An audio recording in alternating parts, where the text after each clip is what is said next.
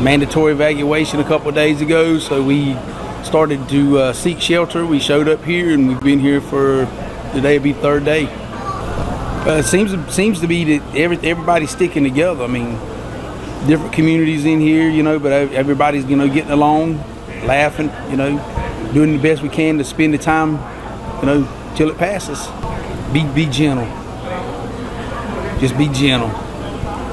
We, we, it's not it's not something new to us, but we really really right now is not a good time to have a, a big catastrophe on our on our on our hands in this area. Uh, well, time like these, you know, we need to uh, to lean and depend on each other. Uh, life is already hectic outside of here, so um, different people coming in from different places, and there's people are kind of not sure about things, but uh, if we have faith and we believe uh, things can always get better. The only thing that really fears me is if we get a flood. Other than that, I'm okay. I'm not really afraid of the hurricane or the winds or anything, but like I said, just only the water. If it becomes a flood, then I'll be afraid of that.